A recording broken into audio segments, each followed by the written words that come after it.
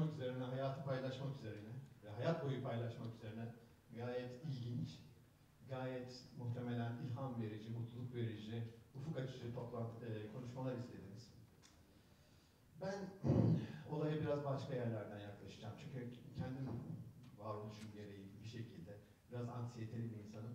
Biraz kötümser bir insanım. Ve belki de tam da bugün anlatacağım şey yüzünden böyleyim. O yüzden bugün anlatacağım konu evet gene paylaşmak üzerine. Ama paylaşmanın biraz kötü tarafı, kara tarafı ya da daha ziyade şöyle diyeyim, paylaşam, paylaşamamak üzerine olacak. Paylaşamadığımız neler olduğu üzerine olacak. Madem ki paylaşmak diyoruz, madem ki insana dair bir şey konuşuyoruz, o zaman insanla başlayalım. İnsan yani Homo sapiens dediğimiz bu primat türü yaklaşık 200 bin yıldır dünya üzerinde var.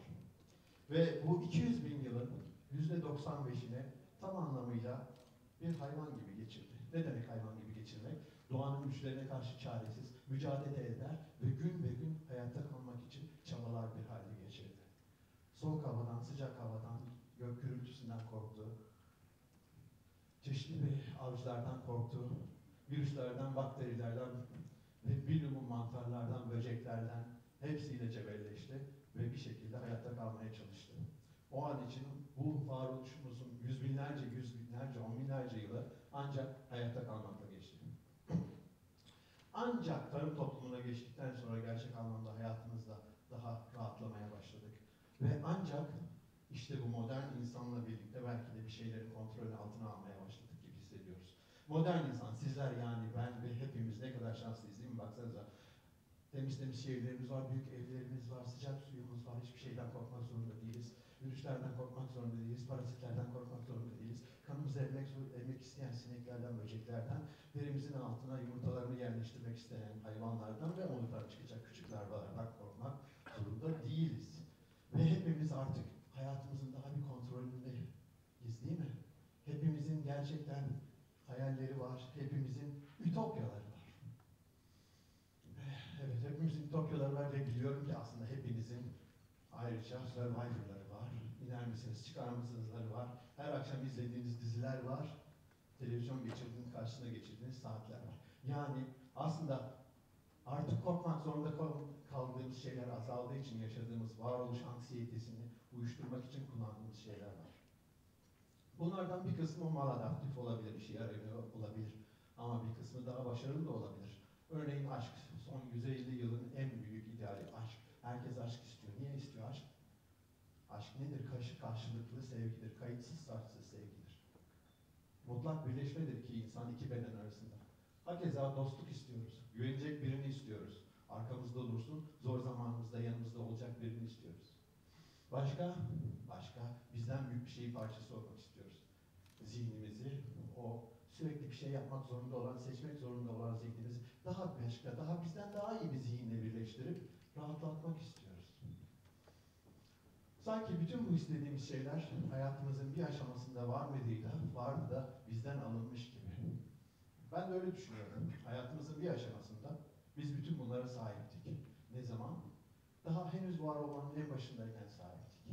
Yavaş yavaş annemizin karnında birkaç tane hücrecikten başlayıp yavaş yavaş oluşmaya başladığımız o yerde. O yerde nasıldık? Bir hayal etmeye çalışalım. Nasıl bir yerde orası acaba? Annemizin içinde son derece sessiz, tek duyduğumuz şey annemizin ritmik kalp atışı, soluk alışları, içerisi muhtemelen sıcacık. Ve herhangi bir tehlike yok, dışarıdan gelen hiçbir şey yok. Ve en önemlisi tehlike diye bir şeyin varlığını bilmiyoruz, korku diye bir şeyin varlığını bilmiyoruz. Belki de bütün hayatımız boyunca en sakin, en korkusuz, en anksiyetesiz olduğumuz, en birey ol, olmadığımız ama en tam var olduğumuz anlardan biri annemizin karnında olsa gerek. Fakat hayat bize eğer bir şey öğrettiyse iyi şeylerin sonuna değil mi? Ve eninde sonunda doğarız. Doğma anını şimdi hayal edin. Herhangi birinizin hatırlıyor olduğunu düşünemiyorum bile. Ama ilk baştaki o sakinlikten, sükunetten, annenin bir parçası olmanın verdiği rahatlıktan bir anda dışarı çekilip alınıyorsunuz. Sizi biri ensinizden tutuyor, belki de hemen ters taklak geri çeviriyor bacaklarınızdan, tutup kıçınıza bir şaplak atıyor ve ağlıyorsunuz. Her doğumda bir ağlayışın olması çok garip olmasa gerek. Annenin içindeki o sakin, sessiz yumuşacık ve uyaransız ortamla bir anda dünyanın içindesiniz şimdi. Ve yepyeni bir şey başlıyor. Artık sesler var, görüntüler var, hisler var, dokular var. Beyniniz, o yavaş yumuşacık yerde olan altıl beyniniz bir anda binlerce binlerce uyaran tarafından bombardıman edilmeye başlıyor. Bu takdir edebilirsiniz ki herhalde her ne kadar hatırlamasak da bir travma.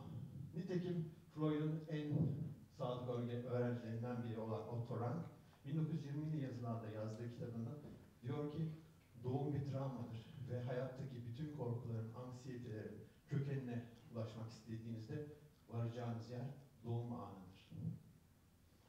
Bu anlayış aslına bakarsanız bir oranda terk edilmiş ve belki de aslına bakarsanız terk edilmişten çok unutulmuş ya, unutulmuş gibi görünen bir anlayış modern psikiyatride ve psikolojide.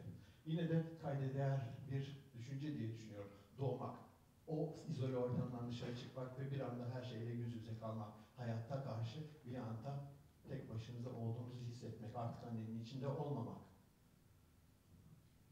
İşler orada da sona ermiyor. İnsan yavrusunu bir başka canlıyla kıyaslayalım. Mesela zebra veya bir başka bir hayvan da seçebilirsiniz. Diğer canlıların yavruları doğduktan hemen sonra evet annelerine muhtaçtır. Ama bir zebra yavrusu yaklaşık 5 dakika sonra ayağa kalkar ve yürüyebilir. Annesinin sütüne ve korumasına mu- mu- muhtaçtır. O an için herhangi bir avcıdan kaçacak durumda değildir.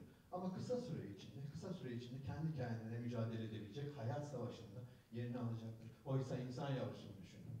İnsan yavrusu, doğmuş yeni bir bebek. Şuraya baktığınız bir hayal edin. Ne kadar çaresiz, ne kadar korumasız, ne kadar kendi kendine yetemeyen, dünya üzerinde bundan başka bir varlık düşünemiyorum aslına bakarsanız. İşte bu varlığın, varoluşu hayatta kalmasını sağlayacak tek şey annesi. Yani bir insan yavrusu eğer hayatta kalacaksa annesi sayesinde hayatta kalacak. Bundan daha mutlak bir çaresizlik anı da hayatımızda herhalde olmamıştır.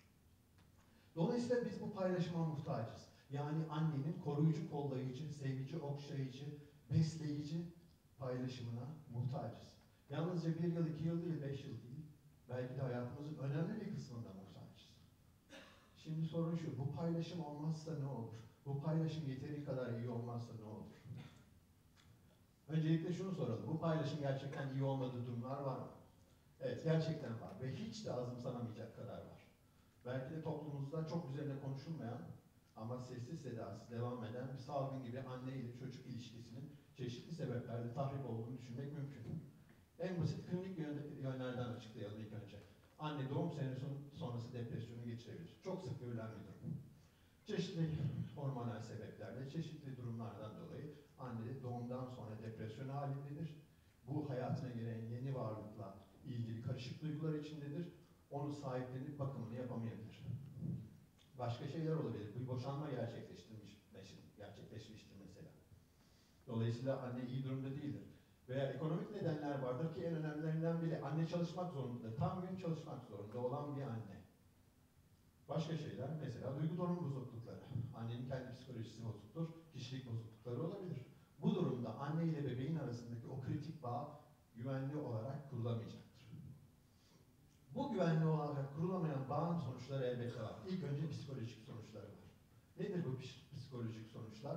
Baktığımızda çok geniş bir literatür var bunun üzerine. Annesiyle sağlam bir bağ kuramayan çocuklarda ileriki yetişkin hayatta anksiyete, depresyon, disasosya- disasosyasyon yani gerçeklikle yaşadığı şeyle kopukluk duygusu, yeme bozuklukları, obezite, psikolojik bozukluklar, kişilik bozuklukları ve intihar meyil görülüyor.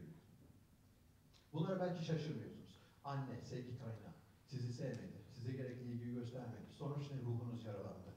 Ama ruh nedir? Ruh nerededir? Modern bilim için, modern psikoloji için, modern tıp için ruh beyindedir. Yani eğer ruhunuz bozulduysa beyniniz bozulmuş demektir. Beyin nedir? Beyin herhangi bir organdır. Mide gibi, karaciğer gibi. Biyokimyasal düzeyde, hücresel düzeyde hiçbir farkı yoktur. O zaman psikolojimizi bozan bir şey bir şekilde fizyolojimizi de bozuyor olsa gerek. Gördüğüm şey tam da bu. Anne ile bebek arasındaki ilişki tam olarak kurulamadığında yetişkin hayatta hayat boyu sürecek fizyolojik zorluklar yaşıyor kişiler. Nedir bunlar? Kalp damar hastalıkları, hipertansiyon, diyabet, obezite, beyin kanaması, Beyin kanamasına daha yatkın olmak. Anneniz size gerekli bakımı, gerekli sevgiyi göstermedi diye 60 yaşınızda beyin kanaması geçirmek. Çok ilginç bir durum gerçekten. Kanser, kansere daha yatkın olmak. Anne ile çocuğun ilişkisi yeterince iyi değilse çocuk kansere daha meyilli oluyor. Uzun dönem ve total aktif yaşam süresi bu durumda daha kısa. Biz bunu çalışmak istiyoruz, anlamak istiyoruz. Bunun için de kullandığımız yöntemler tabii ki belki de ne yazık ki hayvan modelleri olmak durumunda. Yaptığımız çalışmalarda şurada gördüğünüz gibi yeni doğmuş fareleri ya da sıçanları annelerinden gün içinde annelerine ihtiyaç duydukları zamanlarda belli saatlerde ayırıyoruz. Birkaç saat. Hayatlarını herhangi bir şekilde tehdit edecek kadar değil. Fakat bu hayvanlar görünüşte tamamıyla normal olarak gelişiyor. Ama daha yakından baktığınızda aynı şeyleri yani insanlarda gördüğümüz şeyleri görebiliyor muyuz? Evet görebiliyoruz. İster inanın ister inanmayın farelerin ve sıçanların da bir psikolojisi var. Ve bizler bu psikolojiyi anlayarak, ölçerek insanlardaki hastalıkları anlamaya çalışıyoruz. Çok sevdiğim bir hocamın dediği bir laf var. Eğer fare ve sıçan senin psikoloji için iyi bir modelse ciddi sorunun var demektir. Evet doğru modellerimiz çok muhteşem değil ama elimizdeki tek şey bu. Örneğin anksiyeteyi nasıl ölçebiliriz veya farelerde depresyonu veya obsesif davranışları nasıl ölçebiliriz? Basit modellerimiz var. Hayvanı böyle bir artı şeklinde bir labirente koyduğunuzda hayvan etrafı gezmeye başlayacak. Fareler doğaları gereği av, avcı değil de av oldukları için zamanlarının çoğunu kapalı kollarda geçirmeyi tercih ederler. Yine de bir kısmını açık kollarda geçirir. Eğer bir hayvan anksiyeteli ise açık kollarda geçireceği zaman affedersiniz azalacaktır. Nereden mi biliyoruz? Bu hayvanlara anksiyolytik verirseniz o zaman açık kollarda fıldır fıldır gezdiğini göreceksiniz. Depresyonu ölçmek istiyoruz. Yapacağımız şey şu. Hayvanı bu şekilde dolu bir su dolu bir kafese koyarsınız ya da kavanoza ve yüzmesini beklersiniz. Eninde sonunda bütün hayvanlar pes eder. Niye? Yoruldukları için değil, pes ettikleri için. Nereden biliyoruz? Eğer antidepresan verirseniz bu hayvanlar pes etmeyecektir. Obsesif kompulsif menzili davranışlar, tekrarlı davranışlar. Hayvanlarda nasıl ölçebiliriz? Hayvanların kafesine böyle böyle küçük bilyeler koyarsınız ve hayvanın hepsine teker teker gömüp gömmediğine bakarsınız. Bu bilyeler ona hiçbir tehdit unsuru olmasa bile bunları hayvan gömüyorsa biz buna obsesif davranış olarak bakıyoruz. Çalışmalarımız burada bitmiyor. Ee, özellikle Almanya'da yaptığım bir çalışmadan kısa örnekler vermek istiyorum. Burada da inme üzerine çalıştık. Annelerinden ayrılmış hayvanların daha ileride inme modellerine maruz kaldığında nasıl bir fizyolojik değişiklik gösterdiğine bakmaya çalıştık. İnme biliyorsunuz bizde beyin felci olarak geçer. İki tipi olarak tanımlayabiliriz. Bir tanesi iskemik inme yani beyin damarlarına giden beyin damarlarından herhangi birisinin aterosklerotik yani damar sertliği ve oraya yerleşen bir pıhtı sonucu kapanması. İkincisi de damarlardan, beyne giden damarlardan herhangi birinin patlaması sonucu oluşan kanama. Çalışmamızda şunu gördük. Annesinden bu emzirme aşamasında ayrılan hayvanlar inme modellerine maruz bırakılıp inme geçirtildiğinde daha sonraki biz beyinlerini kesitlerini alıp ne kadar infarkt yani ne kadar hasar gördüğünü anlayabiliyoruz. Bunların hepsinde hasar daha büyüktü. Bunun sebebini çalıştık. Nasıl oluyor da anneden ayrılmak yani psikolojik bir travma inmeyi büyütebiliyor. Yani birisi son derece mekanik bir şey gibi gelip diğeri emosyonel bir şey gibi gelebilir. Bulduğumuz bulgular şu. Öncelikle damarlara gittik. Damarlarımız biliyorsunuz kanımızı vücudumuzda dağıtır. Bunlar pasif tüpler değildir. Her şeyden önce tansiyonumuzu ve organımıza giden kan miktarını ayarlamada aktif olarak görev alırlar. Damarların iç kısmında endotel denilen bir hücre tabakası vardır. Bu hücre tabakasının iki önemli görevi var. Birincisi istenmeyen pıhtıların oluşup damarı tıkamasını önlemek. İkincisi salgıladığı çeşitli kimyasal maddelerle damarın genişlemesini sağlamak gerektiğindir. Biz ölçümler yaptık. Gördüğümüz ölçümlerde şunu bulduk. Annelerinden ayrılan hayvanlarda damar yeteri kadar elastikte ya da reaksiyon göstermiyordu. Yani genişlemesi gerekirken yeteri kadar etkinlikle genişlemiyordu.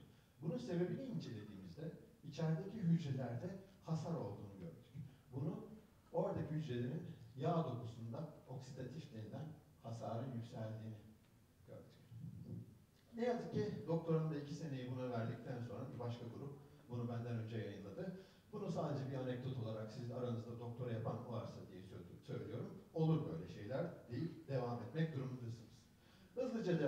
kromozomlarımız ve telomer. DNA, insan genom projesinden beri DNA'yı hepimiz biliyoruz. DNA vücudumuzda ya canlılığımızı sürdürmek için gerekli bütün bilginin temelleri. Kodlandığı uzun kimyasal maddeler. Bu kimyasal madde bir hücrenin içinde yaklaşık 4 santim uzunluğundadır. Bu kadar uzun bir şeyi depolamak için tabii onu güzel güzel güzel güzel sarmanız gerekir. İşte bu sarıp yerleştirdiğimiz şeyler kromozom. Şimdi bu kromozomların uç tarafında özel boyanmış noktalar görüyorsunuz. Bunların adı telomer. Nedir telomer? Kromozomlarımızın hasar görmesini engelleyen uçlar. Bu uçlar kromozomlara olacak çeşitli hasarı engelliyor ve kromozomların kazayla birbirleriyle yapışmasını engelliyor. Telomerlerin bir başka özelliği daha var. DNA'yı her kopyaladığımızda, yani hücrelerimiz her bölündüğünde DNA replikasyon, DNA kopyalama mekanizmasının çalışma prensibi gereği telomerler kısalıyor. İlginç bir şey. Dolayısıyla telomeri biz o zaman bir yaşlanma markörü, yaşlanma ölçeği olarak alabiliriz. Hücreleriniz ne kadar bölünüyorsa telomerleriniz o kadar küçül- küçülüyor demektir. Siz ne kadar yaşlıysanız artık o kadar çok hücre bölünmesi geçirmişsiniz demektir. Dolayısıyla telomerleriniz ilerledikçe, yaşlandıkça kısalacaktır. İyi haber şu ki vücudumuzda telomeraz denilen bir enzim de var. Bu enzim işte telomerlerin bu yavaş yavaş kısalan uçlarını tamir etme, en azından belli bir oranda ta- tamir etme yeteneğine sahip olan bir enzim. Şu an kendi laboratuvarımızda yaptığımız çalışmalarda annelerinden ayrılmış hayvanlarda acaba daha hızlı yaşlanma var mı yok mu? Bunu herhangi bir şekilde saptayabilir miyiz? Buna çalışıyoruz. Bulduğumuz bulgular kabaca en azından şu ana kadar ki şöyle. Annelerinden ayrılmış olan hayvanlarda bu telomeraz dediğimiz enzimin düşük aktivitede olduğunu gördük. Yani çocukluklarında bu hayvanları biz bir yaşındayken test ettik. Oysa doğduktan hemen sonra geçirdikleri psikolojik olarak addedebileceğimiz bir travma ömürleri boyunca bu hayvanların telomeraz enzimini baskıladı. Ve benzer şekilde veya beklediğimiz şekilde bu hayvanların telomerlerinin uzunluğunda da kayda değer bir kısalma görmüş olduk. Şimdi bütün konuyu bir özetleyelim. Kabaca. Çok ilgili olmayan bir anneniz var ve bunun sonucunda hayat boyu psikiyatrik rahatsızlıklara yakalanma riskiniz arttı. Bu da yetmezmiş gibi obezite riskinizden diyabet riskinize, migren getirme, migren sahibi olma şansınızdan migrenlerinizin ne kadar şiddetli olacağını, İlme geçirirseniz 60 yaşında ilmenin ne kadar büyük olacağına ve ne kadar ondan kurtulma şansınızın ne kadar düşük olacağına kadar ve o kadar da trajik olarak kanser olma riskinize kadar bütün bu fizyolojik şeyler bu sebeple değişti. Ve bu bir kader gibi. Çünkü ailelerinizi seçemezsiniz, geçmişi değiştiremezsiniz. İyi haber ise şurada geliyor. Bu en başta bahsettiğim paylaşımlar. Aşk, dostluk ve grup ilişkileri.